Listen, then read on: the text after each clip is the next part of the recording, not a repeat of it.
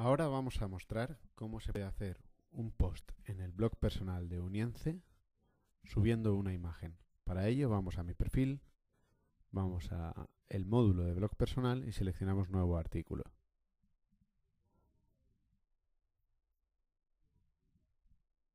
Bien, aquí vamos a poner un título que en este caso va a ser muy descriptivo. Vamos a subir una imagen.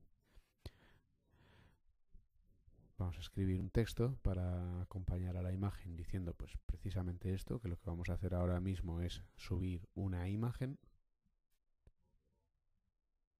y vamos a mostrar el funcionamiento. Ahora mismo no se pueden subir imágenes directamente desde el ordenador a un post en Unience. Lo, tenemos, lo que tenemos que hacer es bien tomar una imagen que ya está subida en la web, bien subir nosotros nuestra imagen a través de otros servidores a, la web. En el futuro sí se podrá subir directamente imágenes desde Unience. Bien, ya tenemos el texto, ahora lo que vamos a hacer es añadir la imagen. Como vemos, pinchamos en el segundo botón por la derecha y nos aparece una barra. Para poner aquí el link a una imagen necesitamos de una imagen. Nosotros ya tenemos una buscada, eh, pero vamos a, hacer de nuevo la búsqueda para que veamos el proceso. Lo que hemos hecho ha sido en, Google Imágenes, hemos tecleado IBEX 35 y Unience. Y hemos cogido una de las ilustraciones que hemos hecho, que hemos hecho, que hemos puesto en nuestro blog oficial en el pasado. Bien, al pinchar ahí vemos la dirección que tiene esta viñeta en concreto. Le vamos a copiar, a pegar, nos vamos a, de nuevo al blog personal y en el cuadro y en, el, en la caja que aparecía para poner la dirección lo ponemos.